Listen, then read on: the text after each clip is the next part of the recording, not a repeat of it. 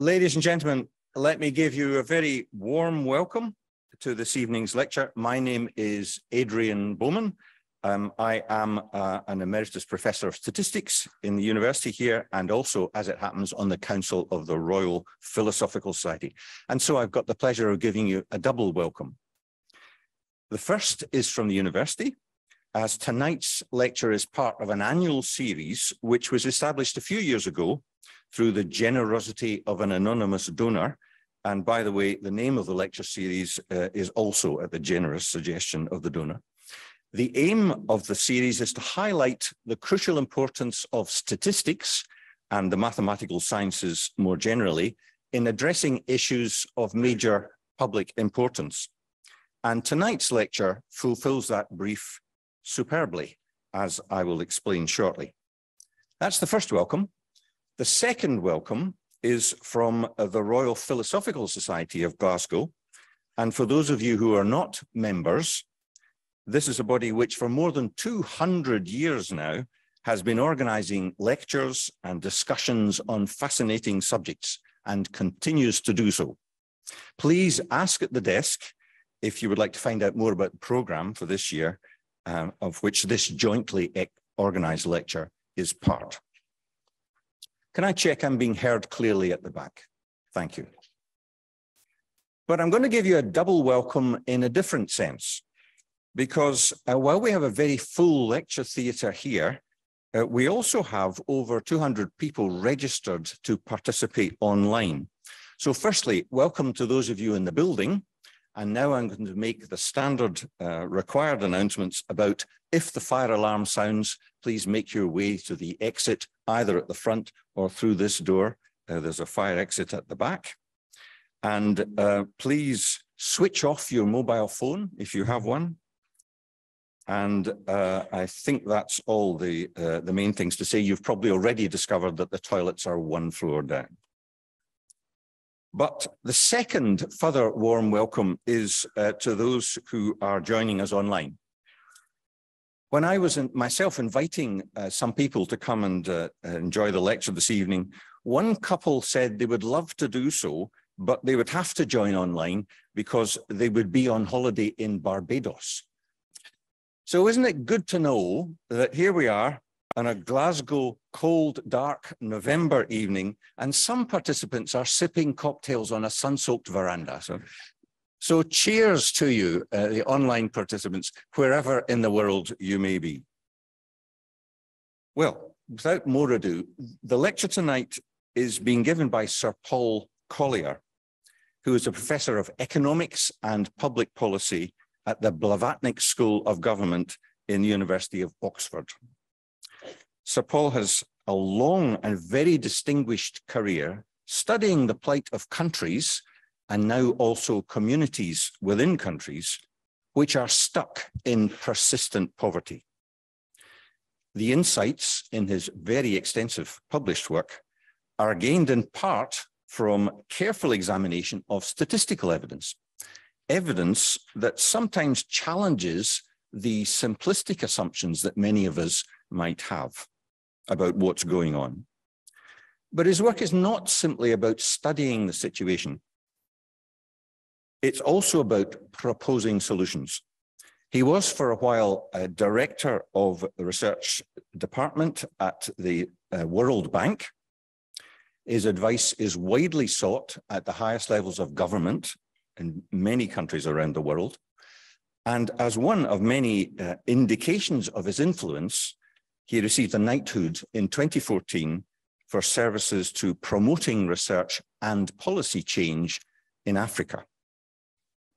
Problems of poverty and inequality are evident around the world, but there's so often, isn't there, a double whammy, as those at the bottom of the economic scale are more heavily exposed to other challenges, such as the rising cost of living here and in other places, or the effects of climate change whatever it may be.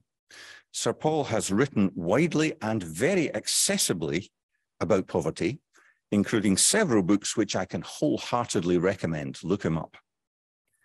His passion to address the issues is abundantly apparent. So it was with very great pleasure that I invite Sir Paul to deliver his lecture.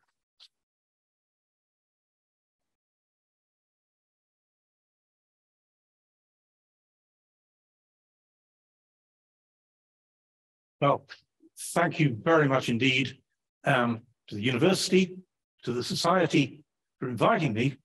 Um, and thank you to you for braving a pretty chill evening and coming out uh, to, to, hear me. And of course, you in Barbados, um, you're, what should we say?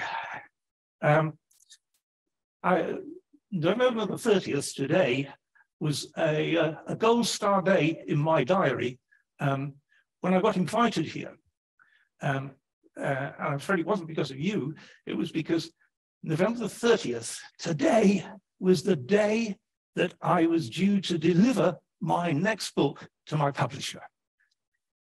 And so I thought, great, I can, I can come here, I can tell them about what's in the book. And it's for me, it's a celebration of, yes, I finished this damn book, right?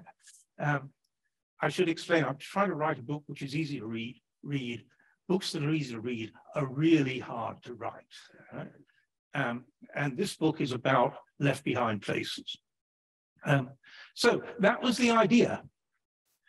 And then over the last three months, uh, and only the last three months, something completely infuriating and exciting and invigorating happened. I finally understood what I was trying to say. And this is a, a, process that I can only describe as sort of a, a, a chemistry, a, catalyzing of previously half thought through ideas. Um, and, and it's a fantastic sense of intellectual excitement as these ideas form is why, is why every researcher, and there are doubtless many researchers in this room, that's what you work for. That's why you do the research. It's so thrilling to get that moment of flow when it all happens, right? Um, it also has the infuriating consequence that you've got to change the damn book, right? Um, and so I had to let my publishers know, awfully sorry, that it's going to be a better book, that's the good news, but it's going to be very late. Right? Um, my publishers were um, understanding, right? Um, uh, and, and hopefully you will be, because instead of being able to stand here and present my book with a clear, orderly flow of this is what I've said, I'm still in that state of excitement and flux and flow and crystallizing. So the danger is this is going to be a complete muddle, right? Um, uh, what I hope it can do is share with you this sense of intellectual excitement, which is the thrill why we do research. Right? Um, so, how did I get to this three months? What was the triggering things? And it was partly triggered by experiences in places that needed to catch up, that were stuck, that were left behind. Right? So last week, I was in Zambia. Right?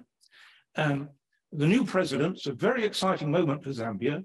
I first met the president exactly a year ago here in, in Britain. Um, he'd emailed me to say, um, I'd like to meet you because I've read your books um, and uh, and I'd, I'd, like to I'd like to meet you whilst I'm here. So that's a good start. He reads my books. That's always a, you know, a good sign, right? In my opinion, right? Unbiased. Um, so that was one set of experiences, and sure enough, he got a very good question. He said, "Here we are. Fifty years ago, we're a copper economy. Fifty years ago, we were richer than the other major copper economy, Chile."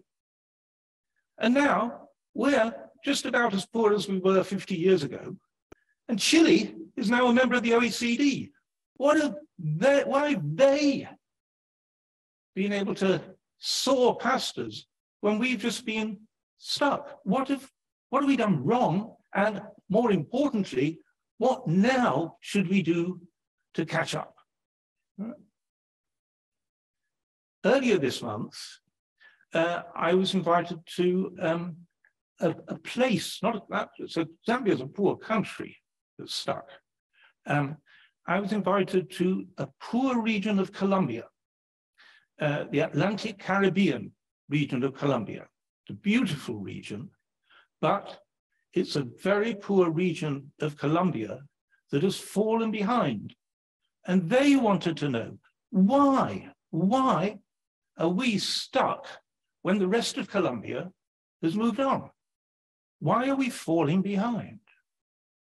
Now, in parallel with that, I was working on the poorest region in England, um, which is South Yorkshire and its core city of Sheffield. I was invited in by the mayor and the chief executive. And so for the last two and a half years, I've been going there, bringing a team of people um, who, who can help. I generally work in teams. Um, and uh, it was the same question in South Yorkshire. Um, why have we fallen so badly behind? Now, I grew up in South Yorkshire. I grew up in Sheffield. Right? It was never a fashionable city, right? But it was modestly prosperous, right? Um, and yet it crashed in the early 80s. It had been a steel city for 700 years, specialist steel, very skilled workforce. It got smashed in about four years in the early 80s. Right? But it's still dirt poor. It's still not recovered. And the mayor and the chief executive wanted to know why. Why are we stuck? So all these places were asking the same question.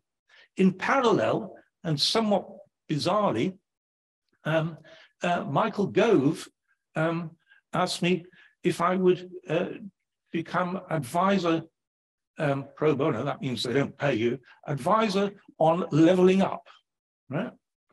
Um, and I've, I've, I've come to have quite a respect for Michael Gove.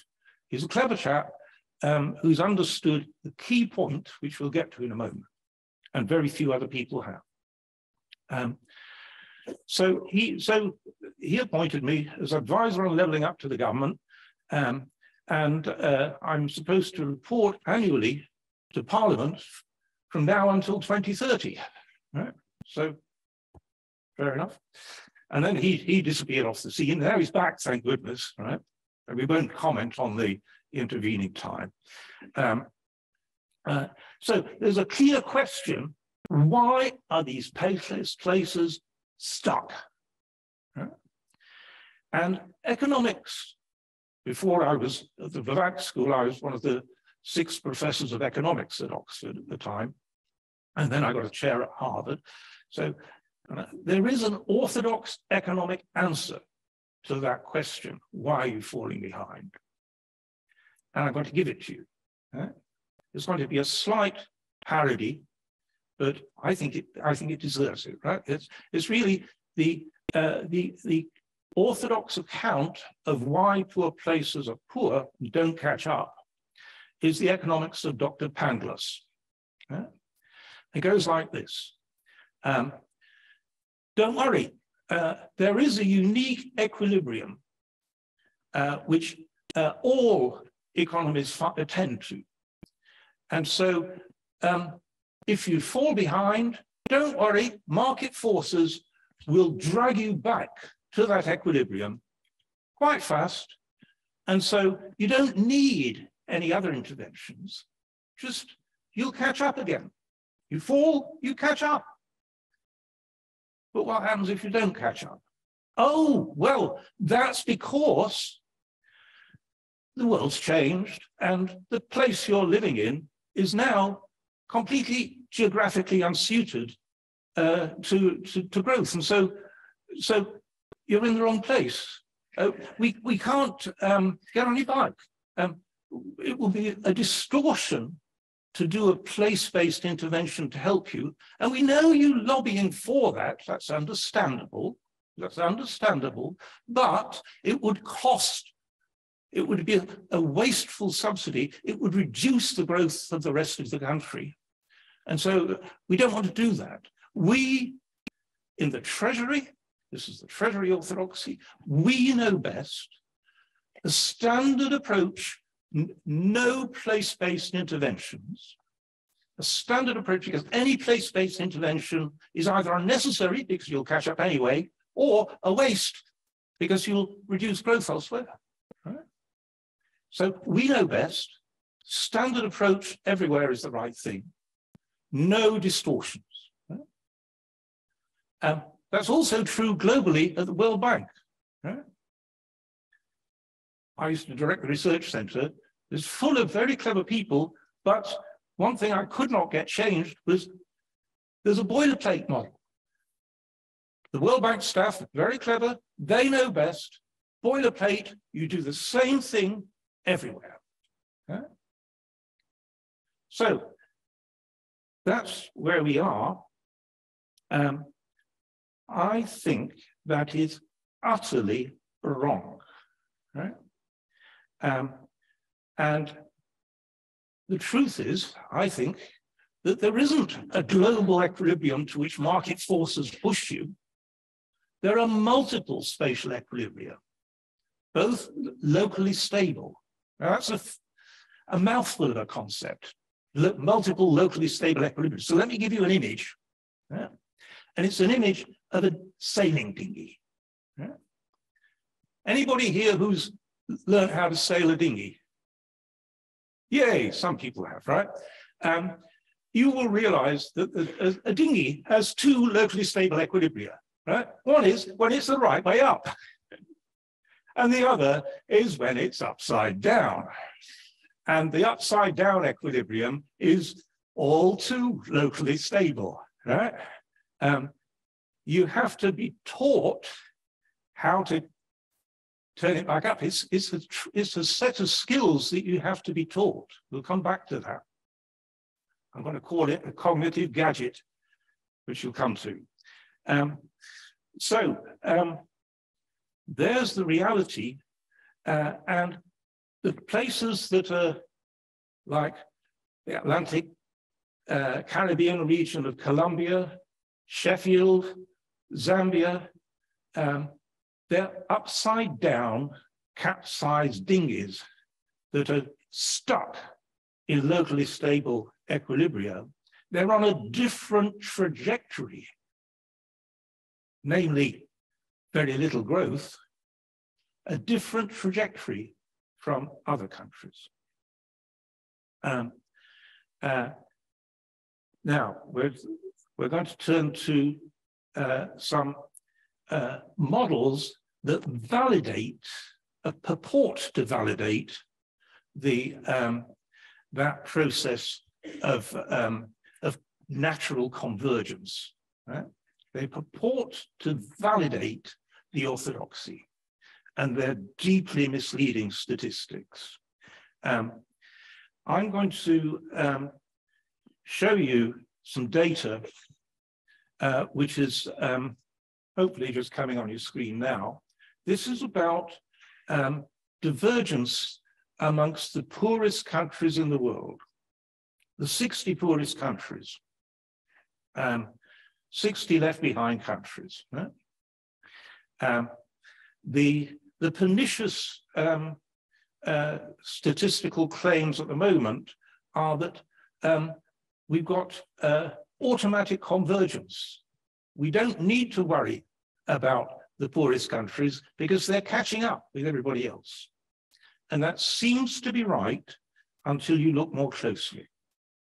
Um, so we've got three groups here the 60 left behind, the emerging market economies, which are awful lot, lot of, about 6 billion people, and then the lucky billion plus at the top, the OECD. So there's three groups of countries, covers the whole world between them. And there are three time periods. Now, the trick, the, the key thing to note here is that that middle time, so we've got everybody pre-2003, from independence to 2003, um, 2003 to 14 is a middle period, and it's a very unusual period. we're not looking here at a trend that's been going on for 40 years. We're looking at a, a deviant decade, which I sometimes call the golden decade. It was, it was a series of wonderful things that were very good for the poorest countries in the world. And then that whatever was happening to them, China, debt forgiveness, commodity super cycle, all that ended and they crashed from 2014 on to the end of 2019. COVID is a different story. They're in an even deeper uh, problem with COVID. But we'll take these three periods and we're using some new data. This is all World Bank data on the changing wealth of nations. The best estimates of future growth should be the, uh, the increase in your wealth, whether it's investment or savings. And uh, this is what this data is showing. It's the change per capita in total wealth.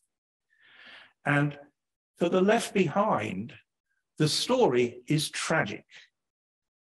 Prior to 2003, the long-term trend, the annual change in per capita wealth was negative, way behind both every, everybody else in the world. They were falling behind. This was the slow death of stagnation. The, interview, the middle period, when everything went right for them, they used their opportunities fairly well. And so wealth per capita increased quite rapidly, 3% a year. And then if we go back to what's called the new normal, after the super cycle ended, they're back to rapid decline. And so that uh, they're diverging from everybody else, both in the new normal and the pre-2003 period. That's divergence big time. But if you run a statistical regression just through that lot, it's dominated by the 6 billion countries of the emerging market which are catching up with everybody else. And a lot of the left behind get missed out because there isn't enough data to cover them. And so that's the, the, the myth of, uh, of automatic convergence that has been perpetrated, and it's wrong. Thank you. Um, now we're going to turn to um, recent advances in science. Um, because the really exciting message here is that um, uh, policies should vary country by country. It's actually efficient to have different policies in different places. Context matters. So you need to vary the policy interventions according to the local context. But who knows the local context best? Is it places like the World Bank and the US and the, and the Treasury? No, the people who know local context best are local people. And so the punchline of this lecture is that um, the modern advances in research, which I'm going to go through in a moment, what they advocate is different policies according to context and who should do those policies, the local people. If they're to do them, they need to have agency. And so instead of the top knowing best, the British Treasury knowing best, the World Bank knowing best, you've got to do the opposite. It's local people who know best. And only if you devolve agency to them will you get an efficient uh, process of mutual of, of the of the poorest catching up. Right? So that's the the sort of punchline of the the lecture. Um, uh, it's true even if you stick within economics. The latest advances in uh, regional economics show that far from the market forces happily taking you back to that unique equilibrium. Once a place has crashed, like Sheffield did, um, market forces amplify the divergence. Okay? There are many reasons for that. It's all published in the literature now. So that I can take as given. Um, uh, what's more exciting, much more exciting, is that um, once the place has crashed, become a lot poorer, poverty produces a load of further problems. Uh, once Sheffield became poor, once any region becomes poor, you get a lot of political problems, social problems, psychological problems, moral problems. And what we need, and those then become a syndrome which interact with each other and reinforce the collapse. The only way of breaking out from those collapses, those traps, is if you try and understand and integrate all those different subjects the political, the social, the psychological, the, the philosophical, right? Um, and that's hard. We haven't got an integrated social science that has done that. We need it, but we haven't got it.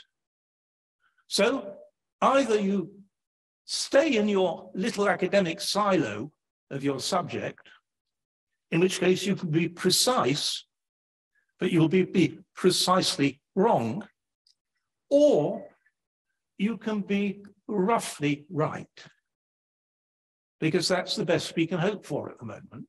Have a go at integrating these things. It's better to be roughly right than precisely wrong, in my opinion. And I am an intellectual maverick who has stuck with a problem of the left behind. And as that problem has needed different disciplines, I've tried to learn about those disciplines. I'm an amateur, but I've been very fortunate to work with professionals. And so I've got a working knowledge of three major new advances that I want to share with you. And the first is evolutionary social psychology. Economics has picked up quite a lot of individualist psychology. They call it biases. But it's not the individual psychology that's the needed here. It's social psychology. And it's not any old social psychology, it's evolutionary social psychology. We are a mammal that has evolved in a very peculiar way to become quite remarkably pro-social. Why? Because when we came down from the trees to survive, the only communities which survived were the communities that learned how to collaborate. We also know that about 80% of our decisions are taken not by our individual, rational, greedy, lazy, selfish brain, as economics thinks. 80% of our decisions are taken by the collective mind of our network community we behave according to the norms and ideas of a network community. And we learn how to do that through evolutionary pressure. Right? We're still a mammal, and like all mammals, we can be dragged down into greedy, lazy, selfish if we have, uh, find ourselves in an organization which is very badly behaved and very badly led, right? For some reason, into my mind comes an image of those London lawyers uh, heroically defending um, uh, the oligarchs uh, so that they can retain their super yachts, right? You will have followed that in the press, I hope. Um, the, um, but it doesn't have to be like that. There are many examples, and I'll come across them later tonight, of communities which actually manage to behave remarkably well. Right? So um, the um, that's the that's the first area, evolutionary social psychology. Um, the um, the second area is um, uh, moral philosophy, not the utilitarianism that tended to dominate for the last 40 years, uh, which is the individualist calculus of I'm good if the consequences I intend from my actions add up to uh, a net plus for other people. Right? Um, that uh, calculus of, uh, of intended consequences produced um, the extraordinarily named Bank Bankman Fried, who you may have read about. Bankman Fried, who uh, has just uh, run off with the, the biggest crypto scam in human history, uh, with devastating consequences for millions of poor people around the world who've been suckered. The, the people who are most suckered by these things are the people who are poorest and therefore most desperate. That's what uh, Bankman Fried has achieved. He did say, sorry, I intended to do well. I was going to make a few billion and give it all away. So I'm all right, really. I'm justified. Um, the, um, the, the, the moral philosophy that I buy into was pioneered by Adam Smith in the theory of moral sentiments. Um, and its most recent development is by Michael Sandel, the, the most eminent moral philosopher in the world, I think, at Harvard. And there, the idea of morality is not this calculus of intended consequences, it's relationships of mutual trust and kindness between people in a community. That, to my mind, is morality. Um, the, uh, the final, so we want to do evolutionary social psychology, we want to do moral philosophy, and finally, we're going to do um, decisions under uncertainty. Um, and uh, decisions under uncertainty, um, if you're in a utilitarian bureaucracy and you're facing uncertainty, um, and you're going to be judged by the utilitarian calculus, do you know what a bureaucracy does if there's a lot of uncertainty? It does nothing. Because nobody gets sacked if they intend to do nothing. The consequences of nothing are nothing. And so bureaucracies freeze up when there's uncertainty. But what we need when there's uncertainty is action despite the uncertainty.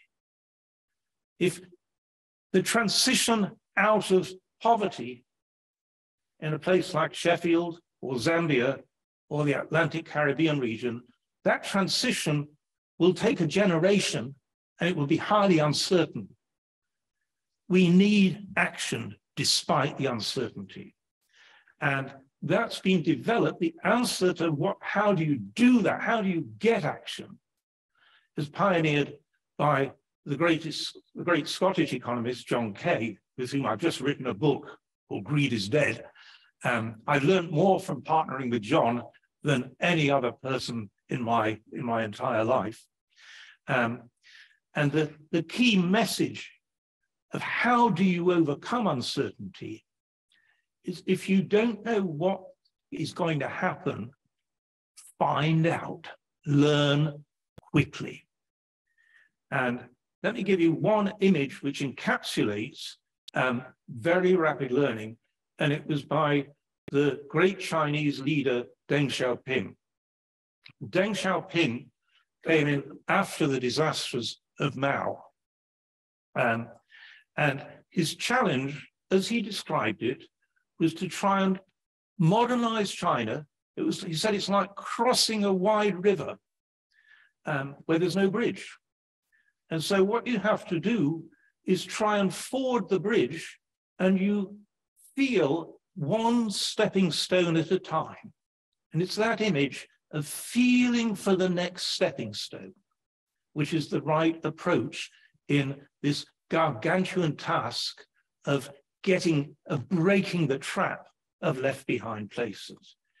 Deng followed that through with a strategy where he had experiments in parallel. Had a five-year program, each five-year program. Here's my objective. You're the 40 people who are going to be the, the, the young cadre, the most elite in China, the Communist Party. You'll each become governor of a province. Here's the goal I want to set to you. We want to reduce infant mortality. I don't know how to do it. Modesty. Right? Here's the goal. You try something. Does the bureaucracy freeze up with the message it doesn't know how, we don't know how to do it? No, he anticipates that. He said, we'll be watching you. If you've not done anything in the first six months, you're a failure. You're thrown out. We'll be watching you. If you succeed, we'll hoover that up and share that information. Right? Places are different. What works for you, great, it's working. But it may be that sitting there is different from sitting there, but maybe you over there should go and have a look. Right? They do that every five years for 40 years. It ushers in the fastest growth and the fastest poverty reduction ever seen in human history. That's rapid learning in action. Okay. Let's turn to something a little sadder, which is Britain's regional problem, our very own regional problem. Could we have chart one? Um, this is um, uh, a chart showing life chances. What are life chances? They're your, the chance that if you are born in, uh, uh, in the bottom part of society, what's the chance that you will end up in the top half? So it's about social mobility between one generation and the next. Right? Um, there are four awful Latin American countries with the worst uh, measured chances, life chances on Earth.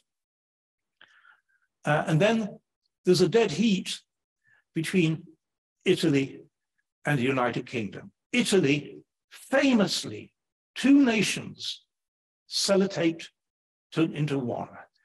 The desperately backward south, Sicily, and the booming, vibrant north. Right? Well, Britain is as bad as that. Right? Um, what's driving it? Why are we so completely exceptional? I mean, the difference is huge. By the time you get to Denmark, you're talking vast orders of magnitude of more equal life chances. So why are life chances in Britain so bad? There's two things driving it. It's very straightforward. One is, did your parents go to university? If the answer is yes, that's good. The next question is, do you live in the southeast of England or East Scotland? If the answer is yes, you've, you've ticked both boxes. You're in the best place on earth. Your kids will do well regardless. I call those kids camouflaged clots. If you've given birth to a camouflage clock and you've got those two boxes ticked, don't worry, they'll do just fine. If you tick the other two boxes, you don't live in one of those, you don't live in the right geography, and your parents didn't go to university. Sorry, sorry, love, forget it. Right? Britain is the worst place for you in the whole of the OECD. You can count your lucky stars, you're not in Peru. Right? So um, that is compounded, that inequality of life chances is compounded by inequality in current incomes. Um, here we bring the two together. And uh, so intergenerational earnings mobility, very, very low. Here's Britain up here, wonderfully high down here, right? Um, And what we're looking at here is um, just income inequality, right? Um, United Kingdom looks really awful, um, where um, uh, even less intergenerationally mobile than the United States. And by the time we get down to the cluster of Scandinavian countries, we're massively different. Um, so, um, why is Britain so bad? Um, and the answer is because we've got extreme concentration um, of power of decision uh, in London and Edinburgh. Right? Um, it's not just government, it's everything. It's government, it's media, it's finance, it's the courts, it's the infrastructure. It's all concentrated in the booming region. Right? Doesn't have to be like that, but it is in Britain. Um, the, because of that, it destroys the chances of local knowledge being used by local people. Yeah? So let's have a look at, um, here's a couple of charts on um, the uh, regional inequality. Uh, you see where Britain is? The gap between Britain and the next is bigger than the gap between the, the next and the best. I mean, we're off the map, regionally unequal. And we're also really pretty um, uh, uh, unequal in terms of local authority autonomy. Um, uh, this one shows um, local authority autonomy. We'll briefly we'll skip to the next one, which is um, uh, the same thing, only with fiscal powers.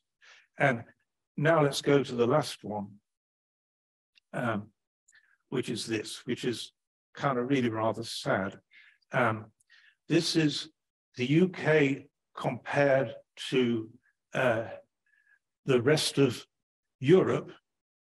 Life chances and regional inequality. And just look at us. I mean, it's a, it's, it's a crushing disgrace that we are so regionally unequal compared to anywhere else in Europe. Um, we know what's needed. It's not complex, roughly. Right? This is roughly right, the next things I'm going to say. We need devolved powers we need a, an automatic revenue transfer mechanism between poor regions and rich ones based on some objective deprivation rather than political lobbying. Uh, and we need local control over a chunk of the taxes that are collected nationally. We haven't got any of them. Right? That's what we need, all of them. Um, we've known that we've needed all of them for an enormously long time. Uh, in particular, the lack of finance for small and medium firms in a poor region became so apparent um, that uh, it became apparent in the 1920s, so much so that in 1931, a committee um, recommended action. 1931, right? 91 years ago. That committee was called the Macmillan Committee. It was led by Harold Macmillan, huh? who then became Prime Minister. Even he, as Prime Minister, couldn't do anything about it. What on earth is going on? Why have we not done anything about it for all this time? And there's a very simple answer when political parties are out of power, they often promise devolution. Sometimes they put it on tablets of stone, right? But when they get into power, they change their minds because it would mean giving power away. And we, need, we know how to use it really well. And so they're anal retentive, right? There's no incentive to give power away. And that's why for 91 years we've known what to do and we've never done it. Right? Um, so on that happy note, um, let's um, let's look at something more cheerful. We can, yeah. Um, uh, you can get change. Uh, you can do it from the top, you can do it from the bottom. Uh, I'm going to look at purposive leadership. And I'm going to tell you the story of uh, Zelensky. And Zelensky uh, draws on all three things that I'm going to use them. Bad models that mispredict, the good models, and the rapid learning. So bad models and Zelensky. Um, uh, I used to work on conflict, violent conflict.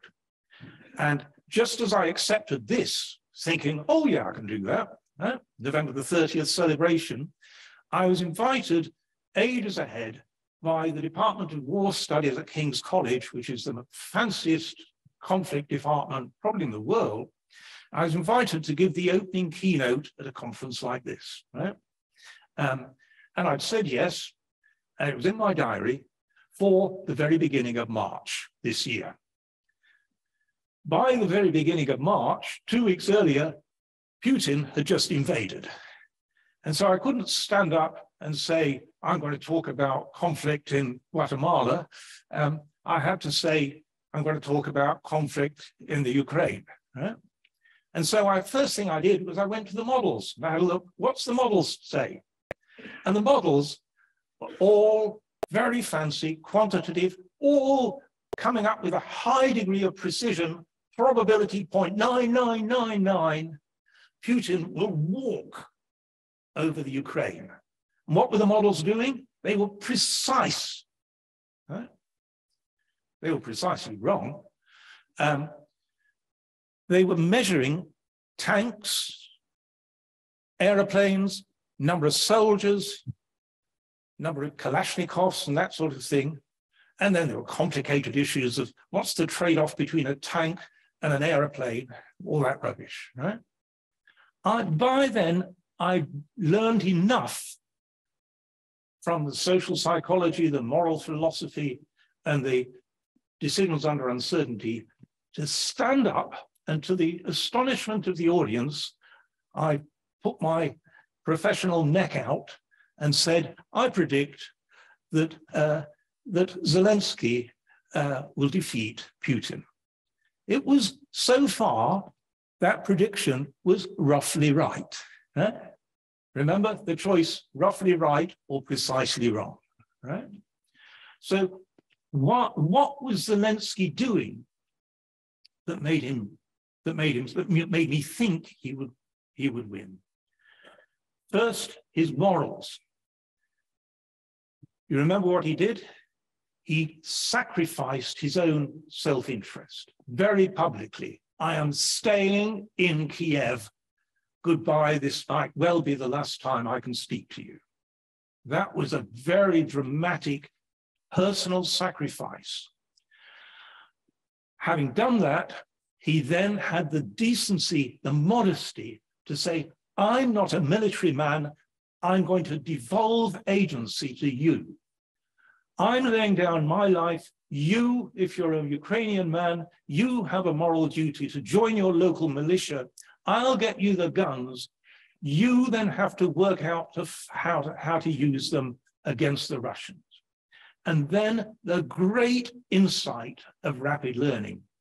He said, we, have, we will win because we have one advantage. You in your local area know your context, the context of the terrain. You know your terrain a lot better than the Russians. That is why we will win. We will use context as our advantage. Right? And that was the rapid learning. So far, it's worked. Right? Um, I'll give you two examples of places that did rather similar things. Pittsburgh in America. Pittsburgh was a steel city, very like Sheffield. It crashed disastrously. Yeah? It was a, it was was a, it was a, half its population left. Right? It's now one of those prosperous cities in America. So how did it revive? Well, it revived because its mayors and its governors of its state had a lot of authority, and they used that authority to build mutual responsibility so the business community in the state and in Pittsburgh and the universities all worked to a common purpose, encouraged by good leadership. Um, my final example uh, is East Germany. East Germany in 1990, when unification happened, it was very much poorer than Sheffield, than South Yorkshire. Now it is very much richer. So South Yorkshire is left behind by a place that overtook it, dramatically so. How? What happened? First, West Germans were, rose to a sense of duty and obligation to help East Germany. There was a purpose that united them. And secondly, uh, they introduced an institution which delivered it. And that institution was called KFW. It had been founded after the Second World War with the explicit purpose of regenerating um, Germany. Right? And by the time, as soon as the task became East Germany recovery, KFW was switched to do that. This was big stuff. It was about 70 billion pounds a year for 30 years. KFW has a, a labor force of 7,000 staff with 80 regional offices. It's capitalized at 500 billion pounds. Last year, Britain set up uh, an, uh, its own version of KFW. Uh, it's called the National Infrastructure Bank. And amongst other things, its stated purpose is to help poor, poor regions to catch up within Britain. Great, we've done it. Uh, it took us till 2021 to do it. Um, Germany started in 1947. Um, but there is an order of magnitude difference. Right? Remember the number 71 billion for 30 years. Um, the National Infrastructure Bank um, uh, has uh, 22 billion for 10 years, right? Um, uh, spread over the whole country, right? Um, remember those 7,000 staff in KFW? Um, uh, the National Infrastructure Bank has, at the latest count, 127 staff, right? Um, capitalized in Britain at 22 billion, uh, KFW currently capitalized at 500 billion, right? These are orders of magnitude different. We're not serious, right?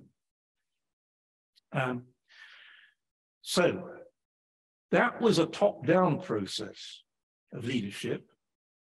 Let me finally turn to a bottom-up process, and I'll give you one example, and it's the Basque region. And the uh, Basque region uh, was a catastrophe.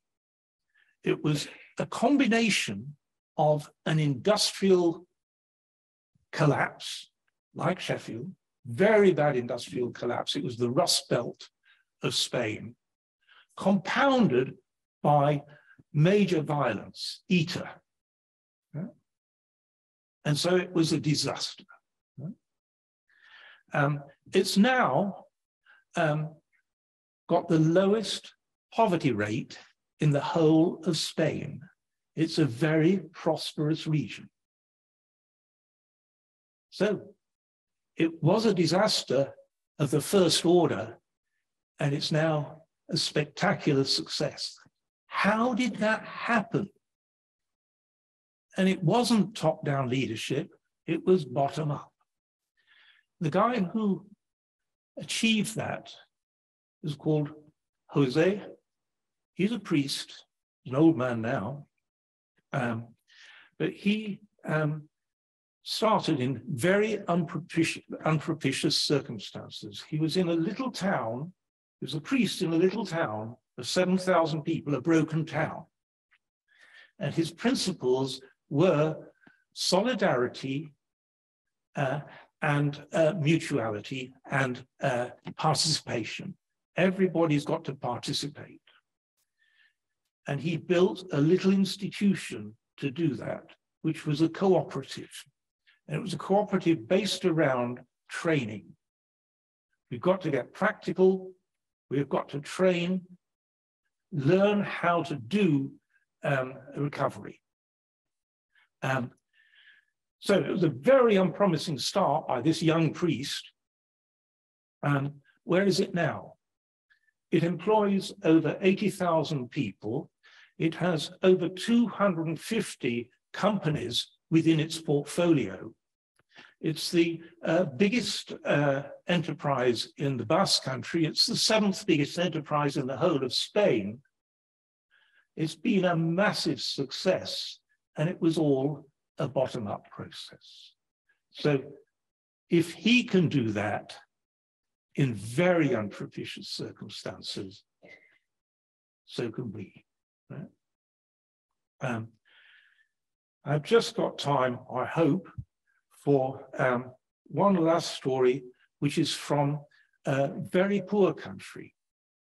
And uh, it's, uh, I'm going to use the concept of a cultural gadget and talk about drones. Um, uh, drones used to deliver blood to clinics. Yeah? Celia Heyes, the great um, uh, evolutionary social psychologist, would describe that invention of drones to deliver blood as a cognitive gadget. Yeah? Um, where was it that invented? Who had that idea to deliver blood by drones to, to, to, to, to, clinics? Um, well, who developed drones? Amazon. Amazon, what is Amazon? It's a brilliant website um, and very clever people um, and logistics. Right? So they developed drones. What did they develop them for? Well, they developed them to deliver packages to people who ordered stuff on a website, right? So that was the problem they solved, and they, there's the machine, it takes off, very clever, right? Did they go the one step extra and say, not only could we deliver packages, we could deliver blood to clinics? No, they didn't. Let's go across to the other side of America to the Pentagon. They also developed drones, slightly different purpose. This was targeted death to people they thought were terrorists, right? So same very fancy technology developed, oh, brilliant. Did they think, oh, not only could we deliver targeted death, we could deliver targeted life? No, they didn't. Just down the street from the Pentagon is the World Bank. Now, that does have a whole big vice presidency on health. And they're very clever people. And so they've got the purpose of delivering health in very poor countries. And they're very clever people. Did they come up with it? Did they think, oh, we could use drones not to kill people or deliver packages, but to deliver blood. No. Does anybody know who thought of how to use blood? Who came up with this idea? Huh? Rwanda. Rwanda. Why did they think of it in Rwanda? Because they knew their context better than anybody else they knew the terrain in Uganda, in, in Rwanda was very hilly and there was no road network that was adequate and they were broke. They had to come up with something cheap or give up. And so they developed a mindset of innovation.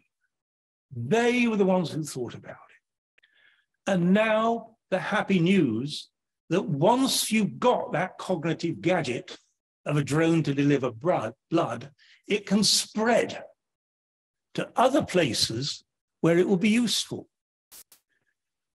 Is West Scotland delivering blood by drone to clinics? I imagine it would be quite useful. I don't know whether you're doing it. We are. Well done. You spoiled my punchline.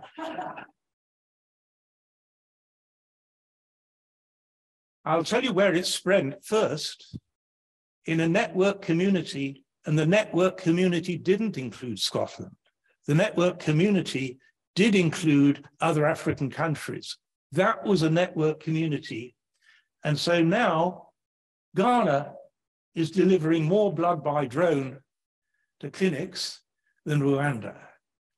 And that is the, the, the, the good news that once poor countries realize that their context is their advantage, then they can come up with these great ideas and those ideas can spread, even sometimes to us.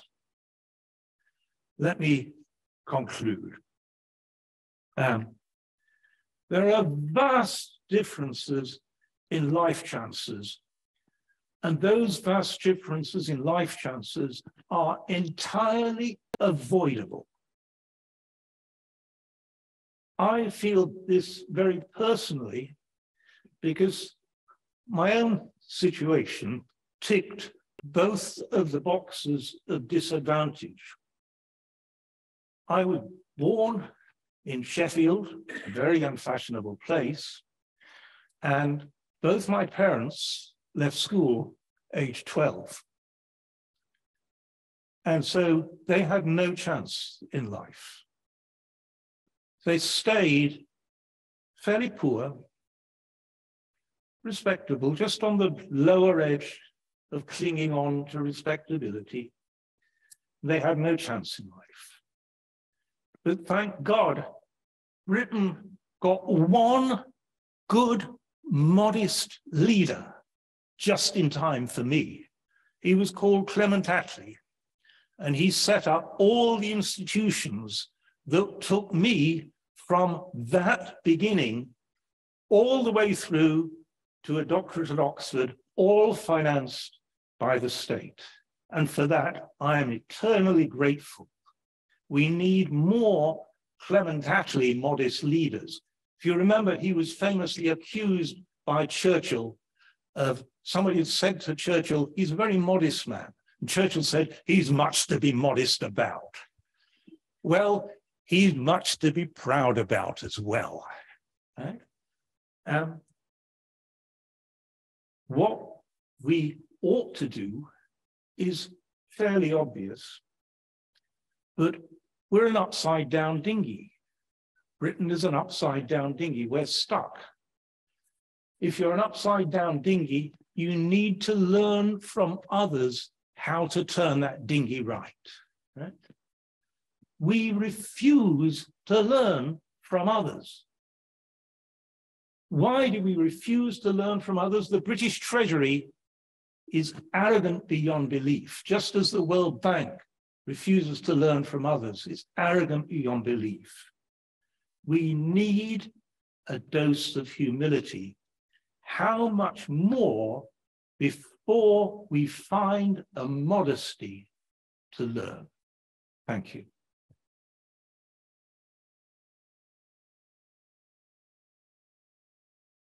Thank you so much, Paul. I think you can hear uh, the, the way in which your lecture has been appreciated.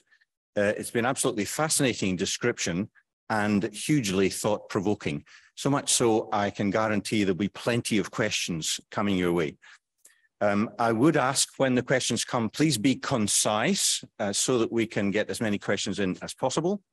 Those online who are listening, please use the question and answer facility, not the chat facility, and uh, we will sort out uh, the questions that way.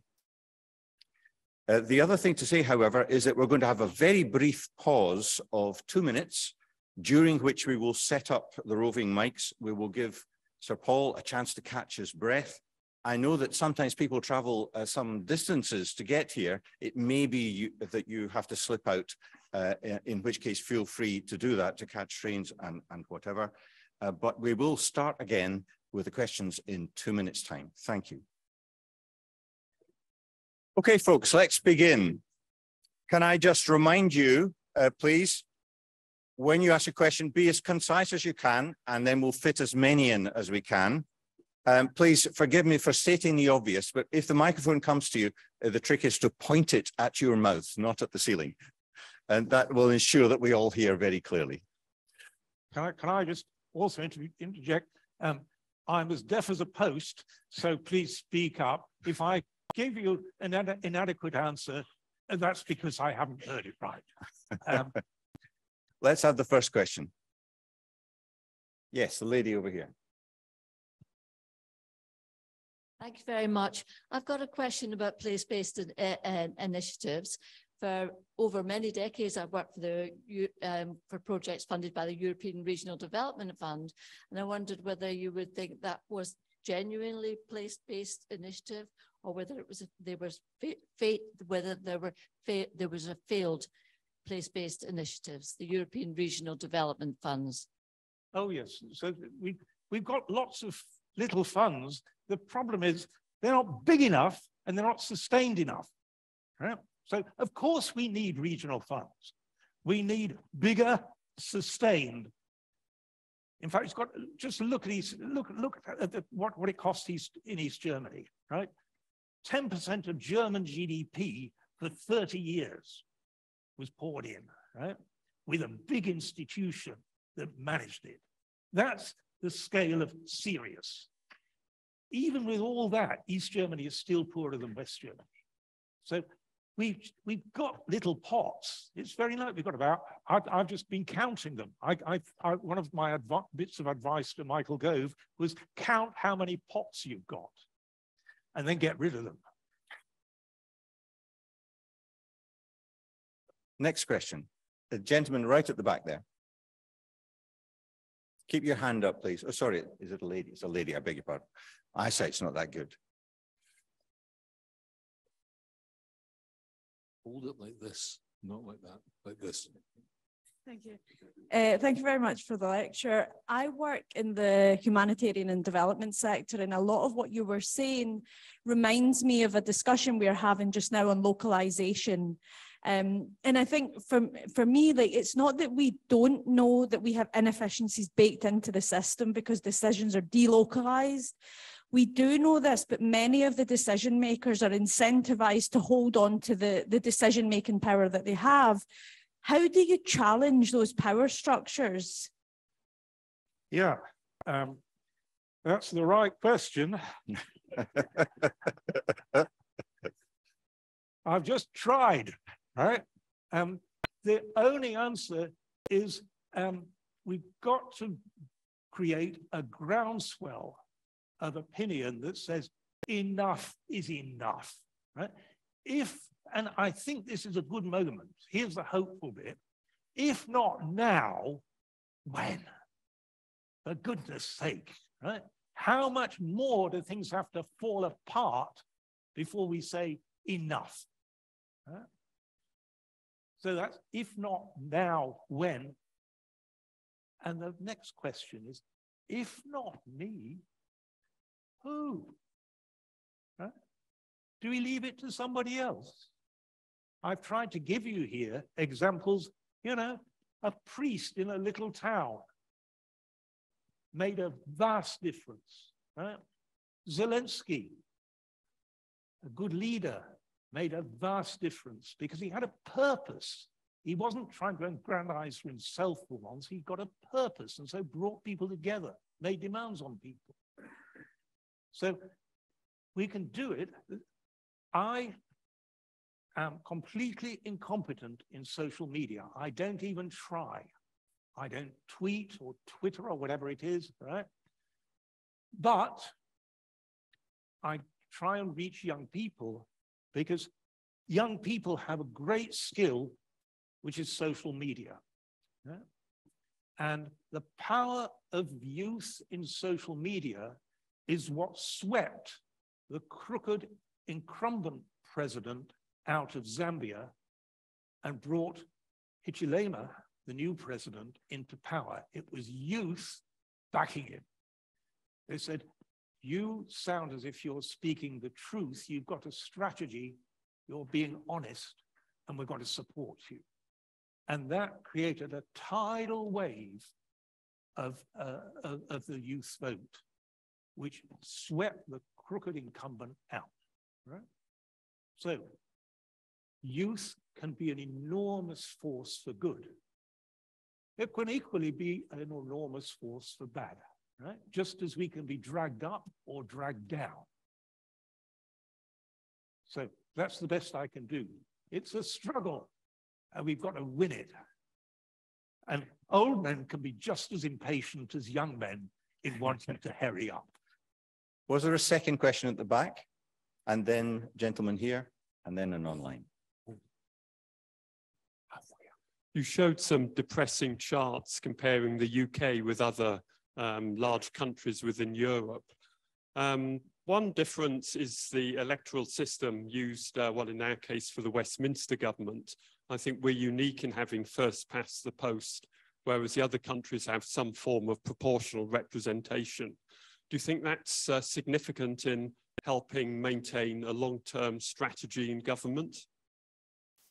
Um, I think to get a, a long-term strategy in government, you need something that is uh, goes beyond party politics. So you need to actually try and build some common purpose um, that is uh, that is across parties. Um, I'll give you an example um, that's happening now in Bangladesh. It's a young man, a remarkable young man from a very humble background, um, who's running a network which is built up to 35,000 young people, uh, aged sort of about 20 to 30, educated. And he's built this network. Um, he gets uh, distinguished old guys like me to, to speak on it. Um, and uh, uh, the, they have a protocol. And the protocol is that um, Everybody has got to be courteous, all political views included, um, uh, but um, uh, nobody is allowed to be rude or, um, or, or not listen to uh, others. So you try and get they then the 35,000 break out into discussion groups to say, how can we use this knowledge we've heard in our own context it's become so influential that top politicians are queuing up to try and join it, to comment and join it, join it. So it's very influential, but its protocol is we're not putting up with ideological uh, uh, opposition. We're, we're trying to find common purpose across different political allegiances. That, I think, is what's needed. Um, I should also say that there's a very clear relationship between devolving power and participation.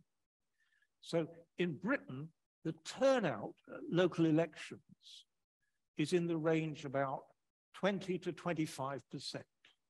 Most people just don't bother to vote because local governments have so little power and they know it. In continental Europe, where there's much greater devolution, turnout at elections is in the range 75 to 85%. People hold their local government to account because they know it's got money and powers and it matters. And that forces uh, the parties to be non extreme, because most people are not extreme. Britain is governed by the 1% who join political parties. 1% of the adult population. It's the most extreme people on the right, the most extreme people on the left. So the 1% choose the menu. Do you want idiot A or idiot B? And the rest of us then choose. And the none of the above isn't on the menu. Gentleman halfway up. You mentioned um, social media uh, a minute ago. and I've got a question related to your examples of the Basque and of Germany, uh, East Germany, and not so much social media, but where does the media in general stand in these countries compared to the power of the press barons in the UK? Where does the what? Where does the media stand, the press, etc., compared to the power of the the Mirror, the um, Mail, the Telegraph, etc. Here. That's a good question. Um, uh, the honest answer for the Basque country is I don't know. Right? Um, for um, Germany, uh, the media is much more devolved. Is much more devolved. You've got a regional media. You used to have a regional media in Britain, and it collapsed.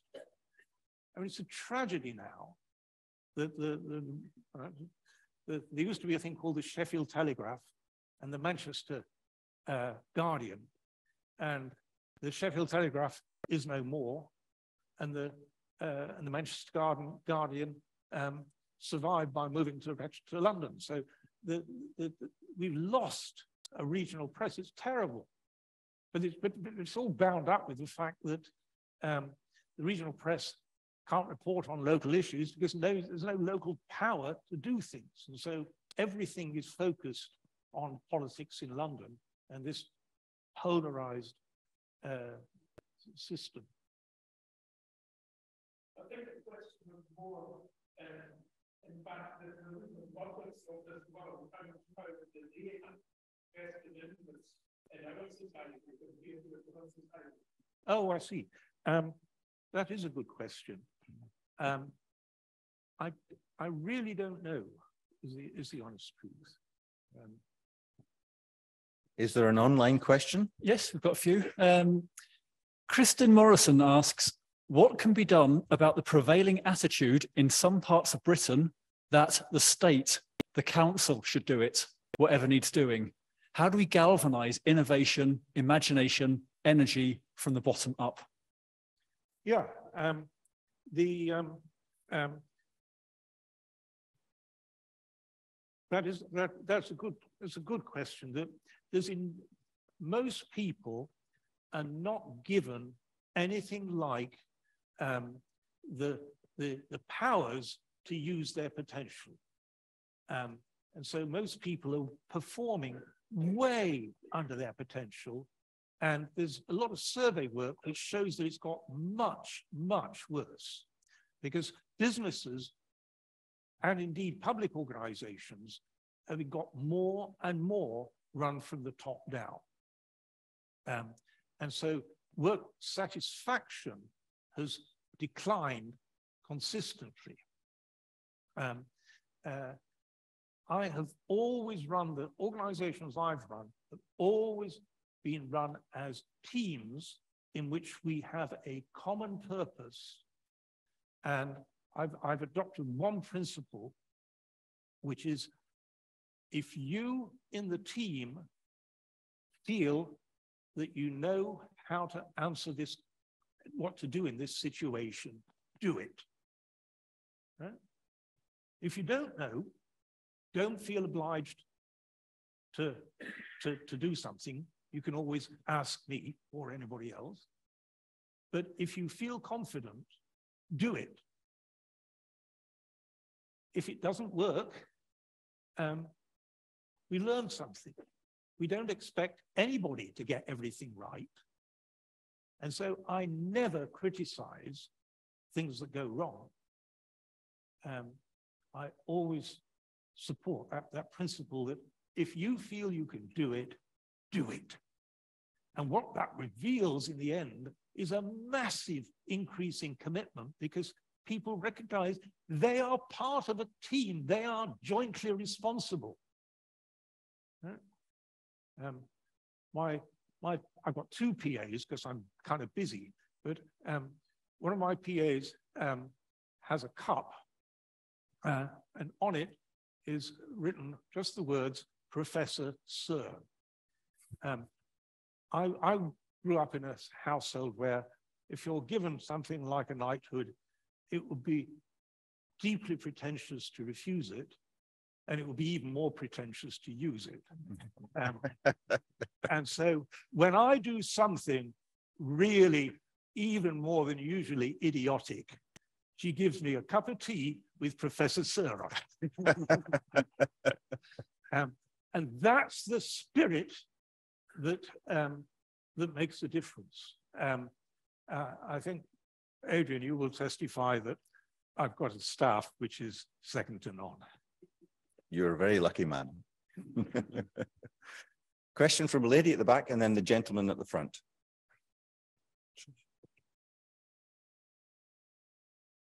Thank you. Going back to the question from just behind me about the deficiencies of first past the post, would you agree that in the Westminster system, we have the leaders of the two main parties who do have a commonality of purpose, and our dinghy is really stuck upside down? Yeah, I um, I think that um, uh, a proportional representation system um, uh, works much better than the first past the post because it forces um, people to to work in in in in, in cooperation, uh, and so it stabilizes uh, the range. Here we here we've got these these these oscillations between extremes, which are extremely damaging, I think. So um, trying to build, I'm, a, I'm a, an advocate of what I call the hard center. Um, uh, the hard center is one that says, we're proud of being centrists. Um, uh, we're not a soft center which uh, apologizes for not holding the extremist views we believe in the center. And so that's I, I'm a believe in pragmatism because we never know enough to know what utopia is. There is no utopia. Right? We're in a dynamic, uncertain world. The best we can hope for is providence, that things on average will arc to the best. And I do believe in that.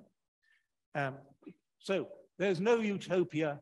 Anybody who says, has an ideology which says this is the way, whether it's Marxist or capitalist, is obviously wrong. Obviously, view. You're just the basic fundamentals of, of, of, of decisions under uncertainty say you can't identify a utopia and stick there. That's not the nature of the life we're in. Um, so, um, pragmatism, um, pragmatism plus strategy, that attempt to, to, to learn rapidly, that's the best we can do. But we're not doing it anything like. One more question. Professor Sir, you, you intrigued us at the beginning of your talk by saying that you'd had this eureka sort of moment where you've you'd worked on this book for ages and then suddenly had to rethink because a different perspective came to you. What was that? Okay, let me spell it out. Um, it was the realization that far from this standard model of we do the same thing everywhere being right, it was catastrophically wrong because the knowledge of local context could be turned to advantage. Once you start to see the differences that a poor region has from a rich one. Once you start to see that as that's the advantage, and who knows about it best, we do, that's the key insight. That using difference to advantage. I'll give you a little example. When I flew into and out of Heathrow, sorry, when I flew out of Heathrow today, I noticed um, uh, two jets, a Finnair jet just coming in, um, and a uh, Ice, Air Iceland just going out.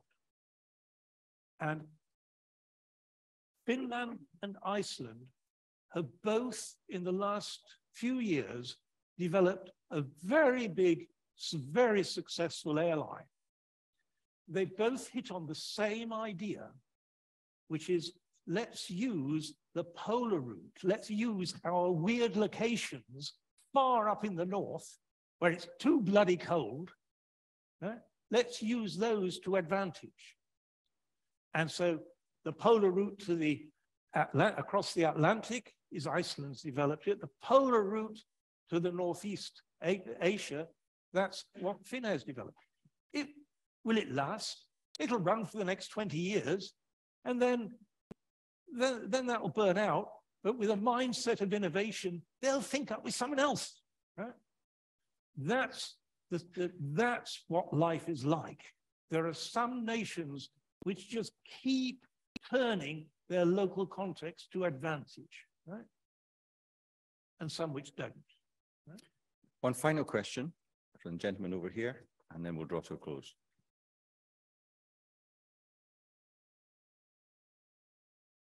Was Michael Gove right to dismiss the need for experts? Say it again. Was Michael Gove correct in dismissing the need for experts? um,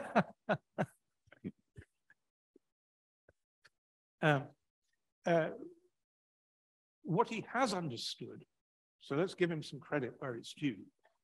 He's understood that market forces are pernicious in left behind places, that you actually have to have active intervention to offset these market forces. What did he mean by um, ex, you know, all that silly remark about expert? Um, you better ask him. Um, but um, uh, I'm an expert, but my expertise, I know its limitations, right? I'm not saying I can give you the precise truth. I've told you, I think I can be roughly right. And so I think um, modesty in everything, including in expertise, would not be a bad thing. And perhaps that's, if we're generous, perhaps that's what he meant. On that note, I fear we're going to have to draw the discussion to a close. Uh, we, we could go on all night, and I'll remind you that there is a reception outside where you're most welcome to have a drink and keep talking. But for the moment, I really would like to thank Sir Paul very warmly for taking the time out of his busy schedule to come and give us such a fascinating evening and giving us so much to think about. We really appreciate it greatly. In a moment, you will have the opportunity to show your own appreciation in the usual way. But before we do that, uh, there's a, a short um, presentation from the president of the Royal Philosophical Society, Professor Pat Monaghan. Thank you. Um, Professor Sir, uh, it's a great pleasure for me to present to Sir Paul Collier uh, the Royal Philosophical Society of Glasgow's Adam Smith Medal. Now, the links to Adam Smith in the lecture that we've just heard are clear. Paul has told us about the wealth of nations being linked to the wealth of communities, and that the wealth of communities can translate into the wealth of individuals. But to reach that, we need to decentralize, we need to localize, and it's the local understanding that we need to get the decision making to that level because in the local level, you have, in a way, that sympathy of sentiment, which was central to Adam Smith's other book, The Theory of Moral Sentiment. And I think we've heard all of that captured in this lecture. So on behalf in, of the University of Glasgow, but primarily on behalf of the Royal Philosophical Society of Glasgow, it is my great pleasure to present to Sir Paul the Adam Smith Medal, and please join me in congratulating him on a wonderful lecture.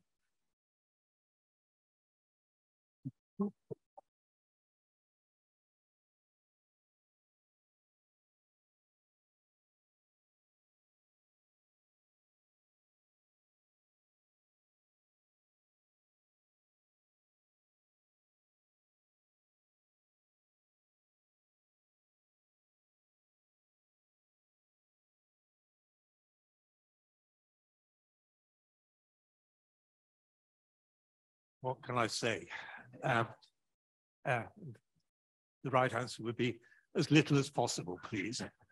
Um, thank you enormously. I, you cannot, I cannot tell you how much this means to me, um, not least because my friend and mentor, John Kay, I will, I will say, yes, I've got this medal.